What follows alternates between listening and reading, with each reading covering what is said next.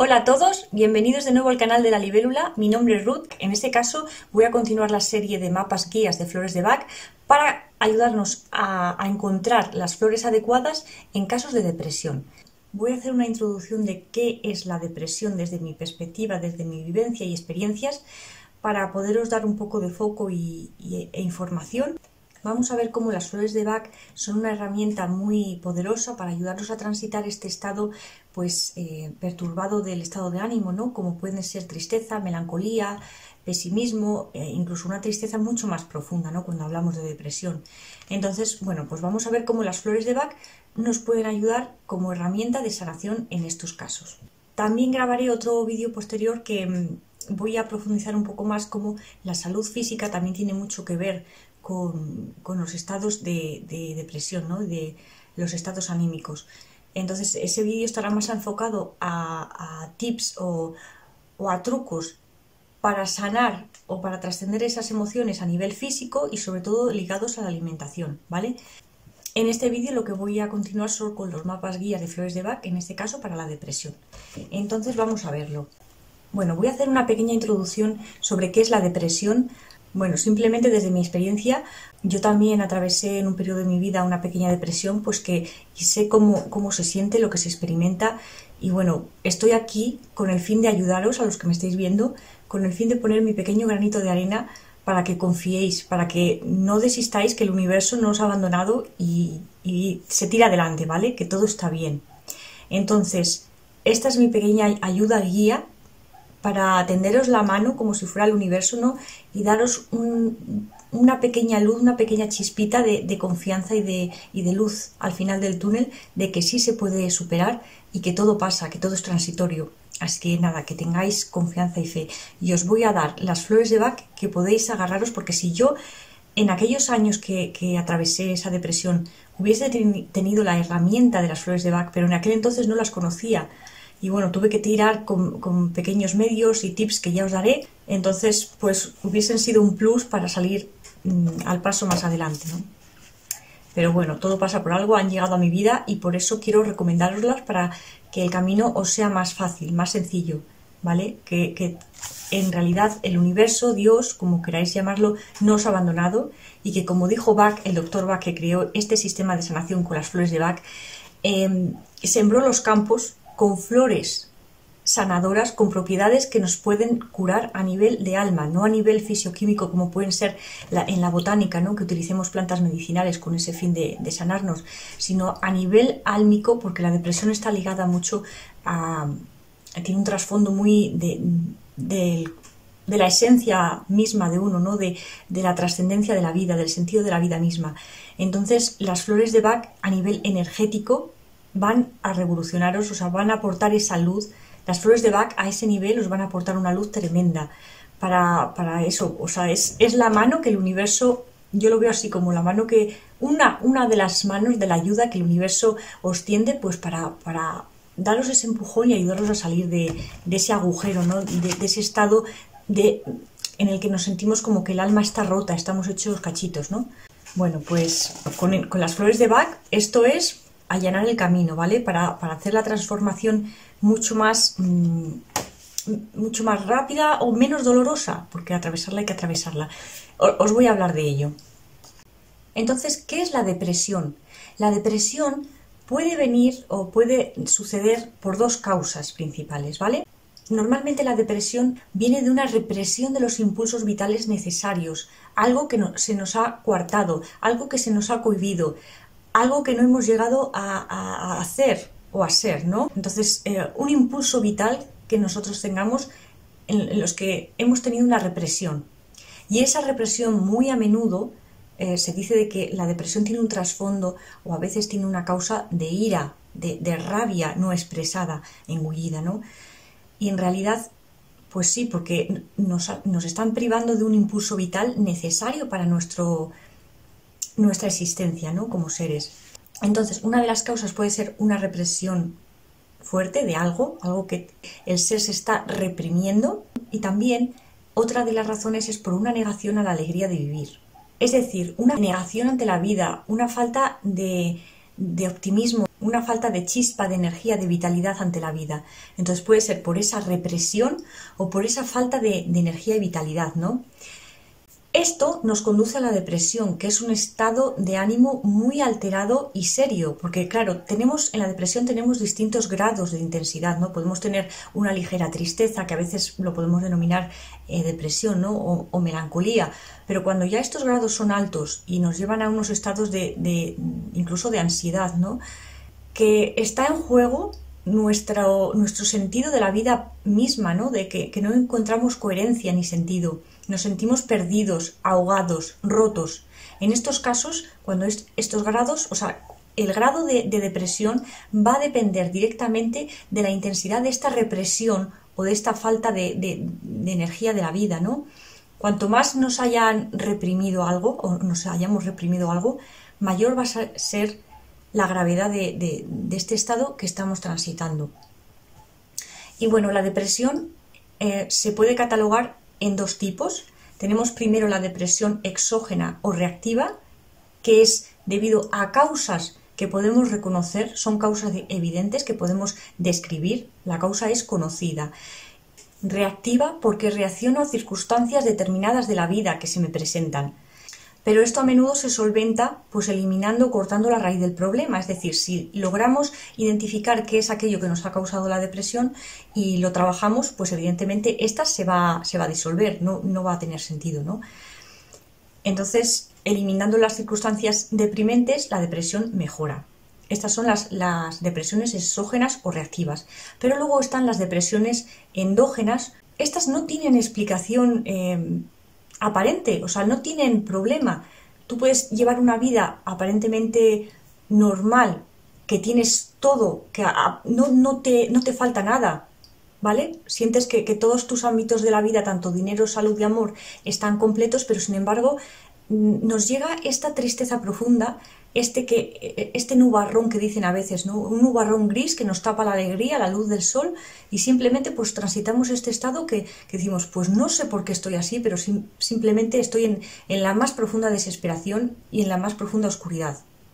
Entonces, estas depresiones se llaman endógenas. Yo las llamo las noches oscuras del alma, y muchos las llamamos así, ¿no? Porque proceden del interior del alma, no es algo que venga del exterior, sino que procede del interior, ¿vale? Son las noches oscuras del alma, donde hay una crisis existencial así de la nada, mm, surge una, profunda desesperación, una oscuridad en la que no encontramos eh, hacia dónde vamos, no, no, no sabemos ni quiénes somos, ¿no? Este tipo de depresiones endógenas que no sabemos la causa, las noches oscuras del alma, representan un punto de inflexión muy importante a nivel de alma y de, de punto de existencia en la vida, ¿no? que nos hace tomar decisiones en nuestra vida. Es un momento clave en nuestra existencia, ¿vale? Y entonces tenemos que atender esta llamada.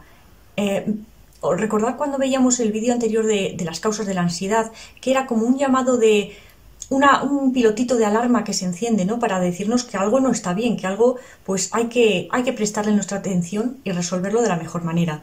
En el caso de las depresiones, esto ya no es un piloto, esto es, eh, vamos, saltan las alarmas completas, o sea, estamos ya de, lleno en un, en un proceso irrevocable que tenemos que atravesar porque igual hemos tenido señales anteriormente de que, oye, que por aquí no es, que esto hay que cambiarlo, que esto no sé qué, que y no hemos prestado atención a estos pilotos que se nos encendían.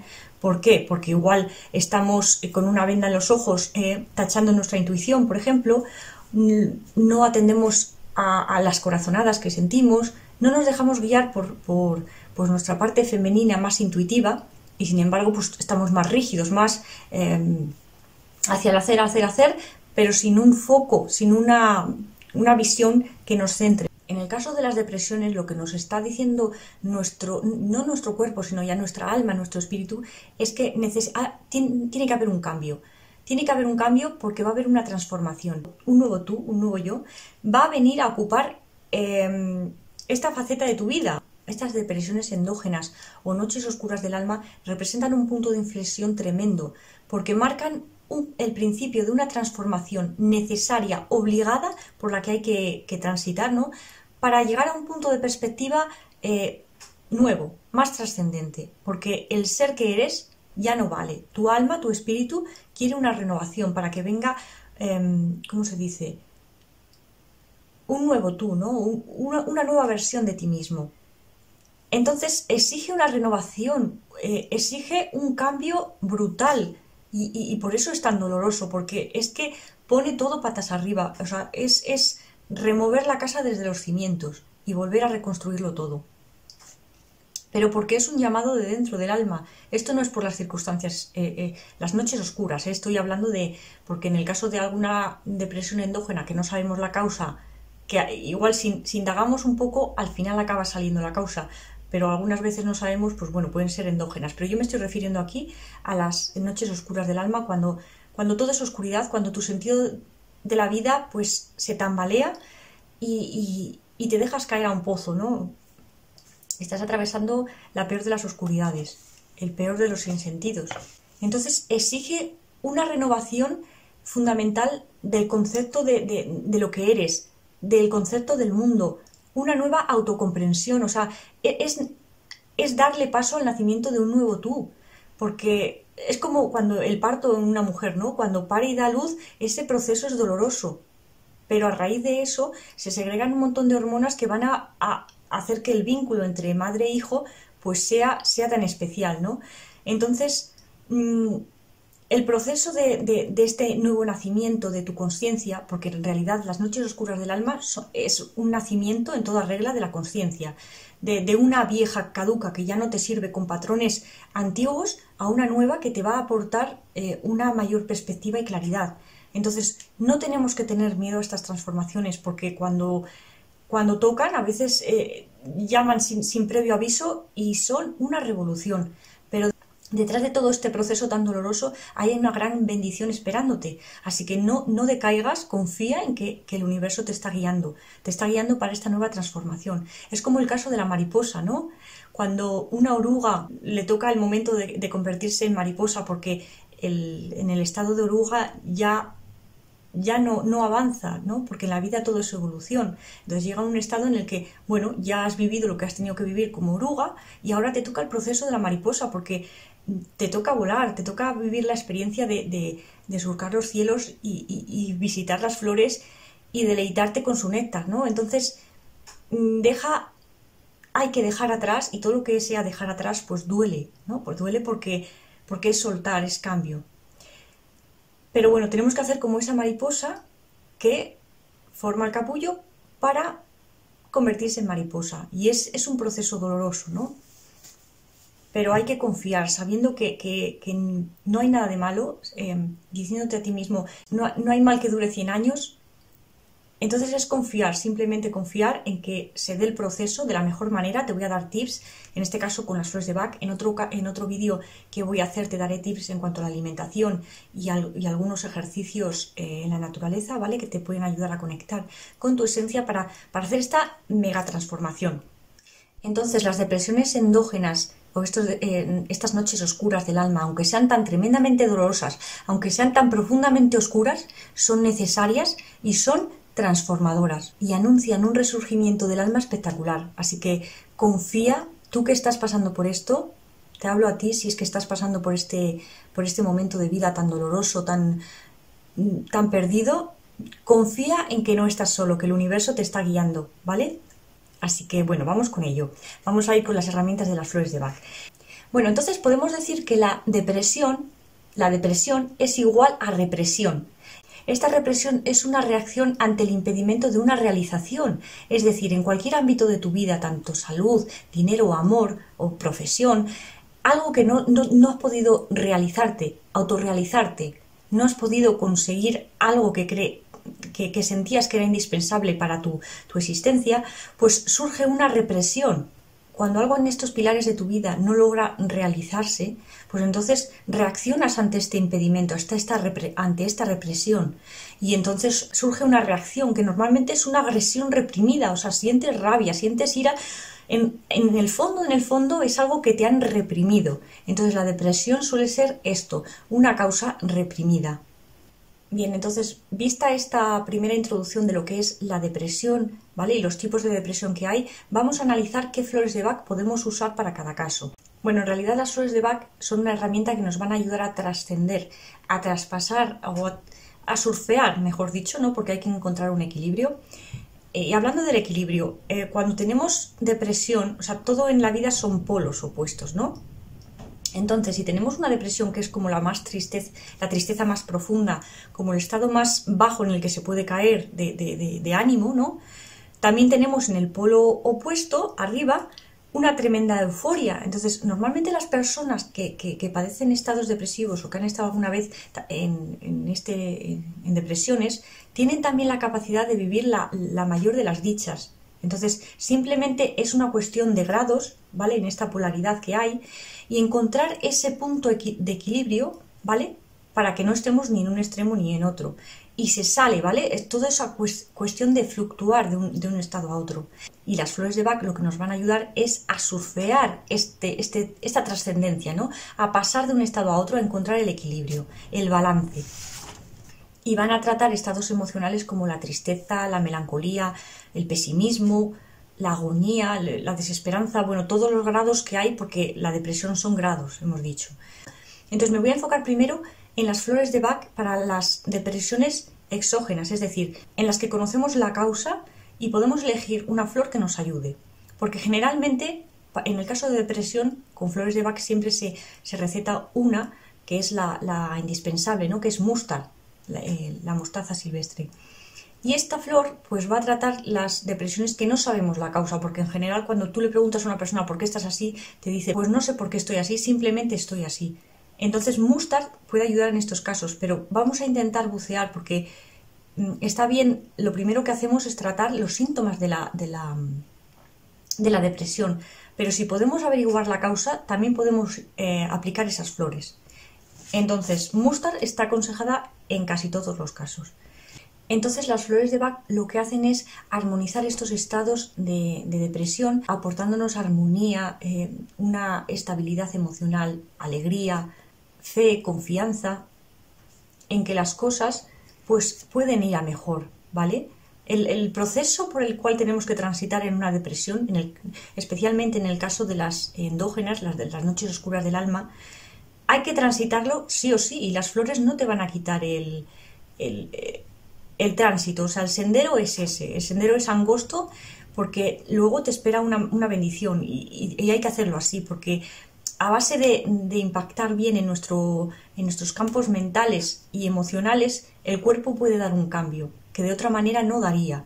Entonces, en realidad, las depresiones que, nuestra alma nos empuja a transitar son necesarias porque es, mm, es el factor que necesitamos para hacer el cambio de verdad, porque de otra manera a modo cómodo no, nos moveríamos de, donde estamos. Entonces necesitamos ese empuje, aunque sea doloroso, porque sabemos que, hay que seguir adelante. No, no, nos queda otra que seguir adelante.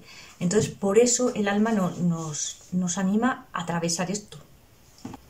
Mirad, voy a compartiros una cosa muy curiosa, que es en Portugal, en Sintra, hay un palacio y un jardín que pues está construido con unas visiones muy esotéricas, muy místicas, ¿no? De, lo que es el naturalismo y, la esencia de, la naturaleza, ¿no? De la trascendencia de la naturaleza. Creo que es en el Palacio de las Regalías, en el Palacio de las Regalías, creo que es. Eh, pues hay un pozo iniciático de un rito masón, de la masonería, en el que los iniciados pues transitaban en este jardín, eh, recorrían ciertas partes del jardín y se encaminaban a este pozo, a esta entrada a la gruta que eran las profundidades de la Tierra, de donde había una energía de mucha interiorización, y a partir de la cual ir eh, subiendo la escalera en espiral del conocimiento y de la luz, de la autoconsciencia. Aunque ahora, de cara a los visitantes, no se entra desde abajo, sino que se entra desde arriba. Tú bajas la espiral, la escalera, y ya sales hacia el jardín. Lo haces en, en sentido inverso porque es una forma de respetar los ritos masónicos que eran iniciaciones que no todo el mundo podía hacer, sino que eran solo, em, estaban solo destinados a estas personas iniciáticas que hacían el rito de ir desde lo más profundo y la inconsciencia hacia la luz y el resurgimiento de, una nueva visión, ¿no? Es, la convertirse en maestros.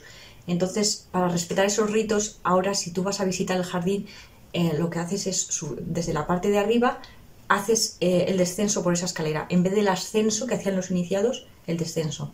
Entonces yo recuerdo cuando estaba haciendo este descenso por esta espiral, porque la verdad que la torre es muy bonita, tú lo que ves cuando te asomas es, mm, desde arriba, pues ves el, pozo, ¿no? La oscuridad, el, fondo de, de todo este abismo. Es un abismo.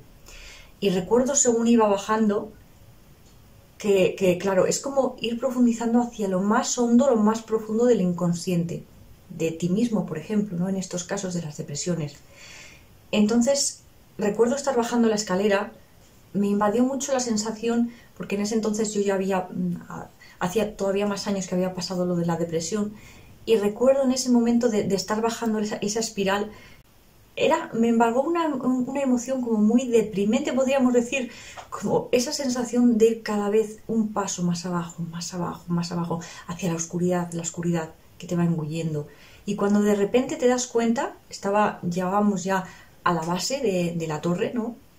Y mirabas hacia arriba y veías el cielo, la, luz que quedaba atrás y estabas rodeado de, esa oscuridad, de esa quietud, de sentirte en lo más profundo. Entonces la depresión es un momento de ese, en ese estado, ¿no?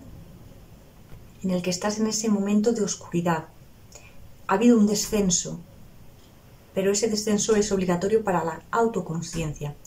Entonces, em, toca el momento de volver arriba, ¿no? Como es iniciado desde que recorre el sendero hacia la iluminación, después de haber tocado fondo, ¿no? En el pozo y bueno, luego ya salíamos por la gruta y poco a poco ibas saliendo de esa oscuridad y eso que, bueno, tenían iluminación ¿no? en las paredes, pero notabas la, densidad de esa oscuridad, de haber llegado hasta el fondo. Y, y, ibas saliendo y al final del túnel pues ibas viendo otra vez la luz. Pues es eso, es un proceso. La depresión, estas noches oscuras del alma, es un proceso, un tránsito que tenemos que atravesar y, y hay que confiar en que, que la luz va a aparecer al final del túnel pero aunque no la veamos, avanzar, no quedarnos en ese... Mm, a ver, el momento de, de retiro, de reconexión, de interiorización y meditación es necesario. Es un momento, es una pausa necesaria, pero no podemos estar ahí por siempre, ¿vale? Simplemente mirando, eh, compadeciéndonos de dónde estamos. Hay que tomar las medidas para ir, ir saliendo, ¿vale? Hay salidas, simplemente hay que tener la voluntad de decir, voy a salir. Y confío en que la luz está ahí, al final del túnel. Entonces, bueno, simplemente era una anécdota que quería compartiros si queréis visitar alguna vez el pozo de Sintra en Portugal. Eh, la verdad que es, muy, muy bonito y muy revelador. Es una experiencia, es una experiencia curiosa. Y incluso si, si estáis en estos estados, pues podéis ir a alguna gruta o a este mismo pozo, ir dentro tomar conciencia de dónde estáis y decir, voy a salir, voy a salir porque la luz está ahí esperándome. Y era muy bonito cómo ibas saliendo de la gruta y luego ya te, te, encaminabas hacia, hacia lo que era el jardín, ¿no? Todo verde, la, luminosidad, pero el estar ahí, la verdad que había una energía muy potente. Entonces, pues os lo, lo, quiero poner como ejemplo, ¿no? De que cuando sintamos en la vida de que hemos tocado fondo, de que hemos llegado a, esos, a esas profundidades oscuras y dolorosas, es momento sí de tomar conciencia de dónde estamos, pero no para autocompadecernos y seguir sufriendo en esa oscuridad, sino que hay salidas, podemos retornar hacia arriba, ¿vale? La luz está ahí. Entonces, mm, desde esa nueva visión, pues salir fuera con una nueva perspectiva. Bueno, voy a empezar ya con el mapa guía, con los mapas guías para que veáis qué flores os vienen bien en cada caso. Empezamos. Para contratiempos, cuando hay depresión por contratiempos o fracaso, sensación de fracaso, en estos casos Gentian viene bien. Cuando hay temor, ya sea conocido o, un poco indefinido, pues Mímulos y Aspen respectivamente. Cuando hay una falta de confianza o sentimientos de, de, capacidad, de que uno puede, y hay depresión por eso, pues en estos casos Large. Cuando hay una falta de reconocimiento eh, del entorno, del medio, de la sociedad, y hemos entrado en una depresión por eso, pues en estos casos, Heather.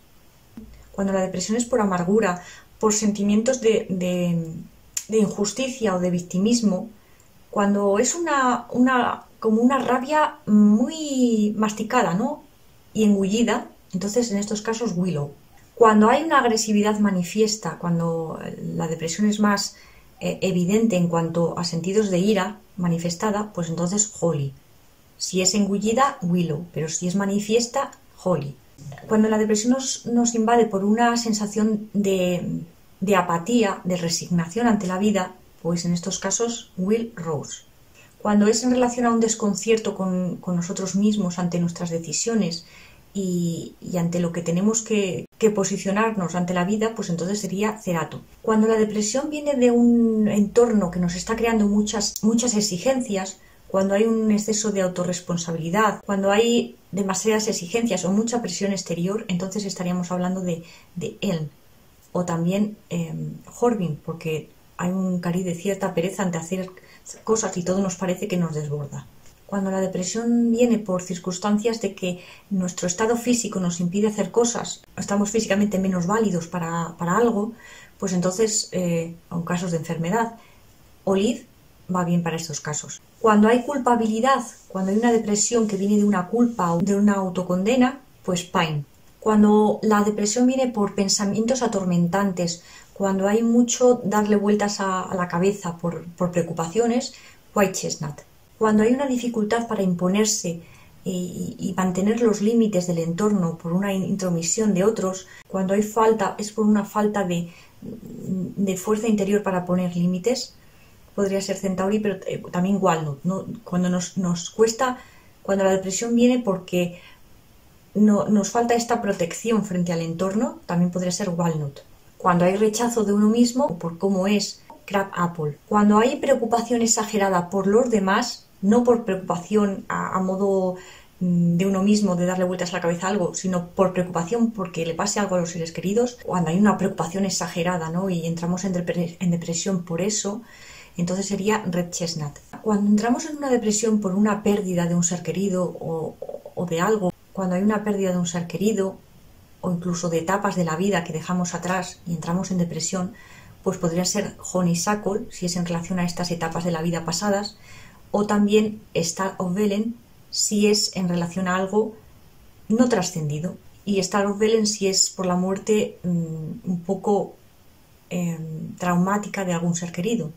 Cuando entramos en depresión por una dificultad de entrar en contacto con, la sociedad, con los otros, con el relacionarnos y el sentirnos solos, pues ahí entraría en juego Water Violet. Cuando hay una falta de, amor o dedicación, desamores, y entramos en, depresión por estas causas, pues chicory es la flor.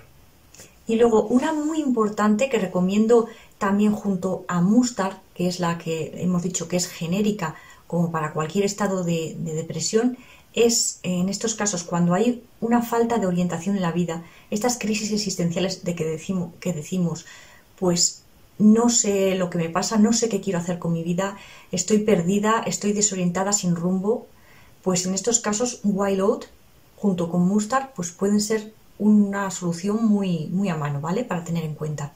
Bueno, todas estas flores que os he dicho en relación a, causas conocidas por las que puede venir esta depresión, podemos unirla con la flor eh, mustard, ¿no? Con la flor de, la mostaza silvestre para hacer como un pack, ¿no? Porque en realidad muchas de las depresiones no sabemos por qué vienen, hay ese nubarrón que nos tapa la alegría de vivir.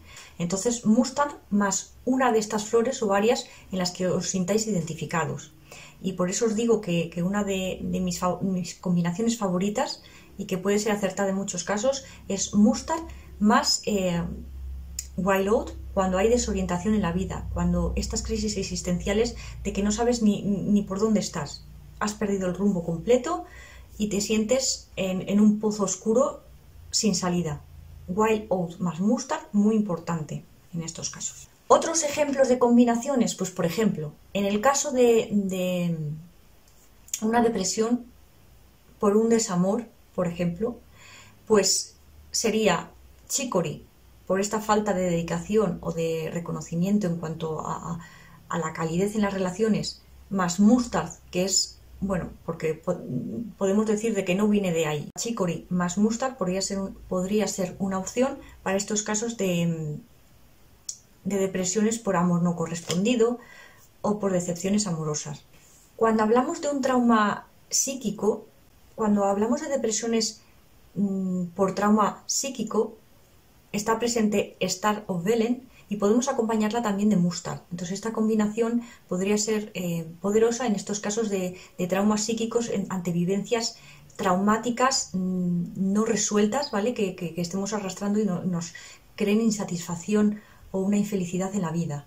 Muy importante también esta de Star of Velen. Cuando hay falta de sentido en la vida, ya hemos dicho, wild out. Cuando hay falta de sentido, de orientación, de, que estás perdido, entonces wild out más, mustard. Cuando tenemos falta de esperanza, cuando hay un pesimismo ya derrotista, que ya hemos tirado la toalla, gorse es la flor a elegir, más mustard puede ser. Podemos eh, tomarla sola, ¿no? Si es simplemente que sabemos que, Bueno, normalmente van acompañadas, porque cuando hay una desesperanza tremenda es que ya no ya no sabes qué hacer, ¿no? Pues en estos casos de, desesperanza, de derrota, Gors más Mustard.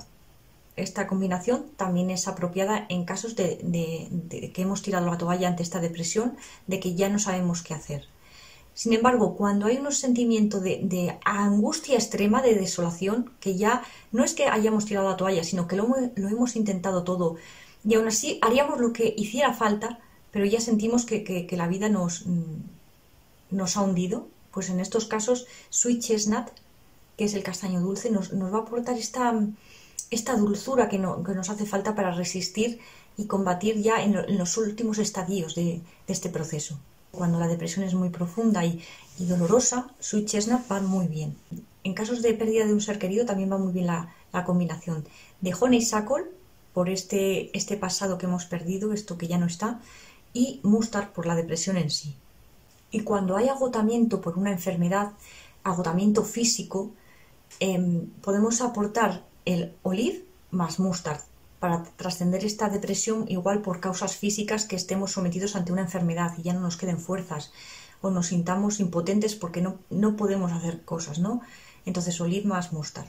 Bueno, entonces estas eran todas las causas por las que puede venir la, la depresión pero vamos a ver los estados en los que las flores de Bach son, vamos, ideales, porque las otras pueden o no ser, podemos intuir la causa de que puede venir por ahí o, no. Si no sabemos la causa, no pasa nada, ya, ya saldrás más adelante. Lo primero que tenemos que hacer, y antes de irnos igual a las causas de, la, de la depresión, hay que tratar los estados en sí de la depresión, qué es lo que estamos sintiendo, experimentando en nuestro cuerpo emocional y mental. Entonces, una de las, eh, de las emociones o estados de ánimo más comunes es la tristeza. Esto puede ser en un grado mayor, como puede ser la de una depresión profunda, ¿vale? O una tristeza simplemente em, somera, ¿no? Una melancolía. Bueno, si es una melancolía por cosas del pasado, pues está honeysuckle. Si es una melancolía, una tristeza que no sabemos la causa, mustard. Y si es una tristeza porque no hemos logrado algo, porque no hemos conseguido, porque algo nos ha salido mal, un fracaso, una decepción, sería, sería el caso de Gentian. Cuando hay una desesperanza a nivel de que hemos tirado la toalla, de que ya no hay nada que hacer, lo nuestro es, eh, no tiene solución, entonces Gorse nos va a dar esta nueva esperanza. Y en los casos de desesperación profunda, donde hemos tocado suelo a nivel de dolor, pues Sweet Chestnut, el castaño dulce, nos ayuda. Cuando hay una angustia emocional que no podemos no podemos vivir ya más. Entonces, esta angustia existencial, Sweet Chestnut nos va a acompañar en el proceso y nos va a aportar esta dulzura que, nos hace falta para, para, llegar a estas etapas últimas, ¿no? Para, para darnos el empujón. Para darnos el empujón.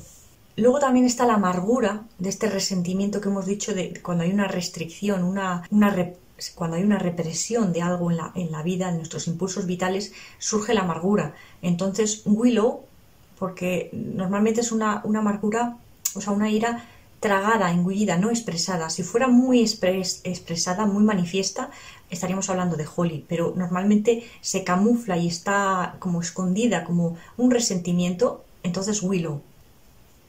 Y luego hay que diferenciar que en, en la depresión suele haber mucho pesimismo y puede ser un pesimismo derrotante, que ya hemos tirado la toalla, que hablábamos de Gors, o puede ser un pesimismo que si cambia un poco las circunstancias, las tornas se, da vuelta a las tornas, ¿no? la situación se parece que se estabiliza más. Entonces sería Gentian.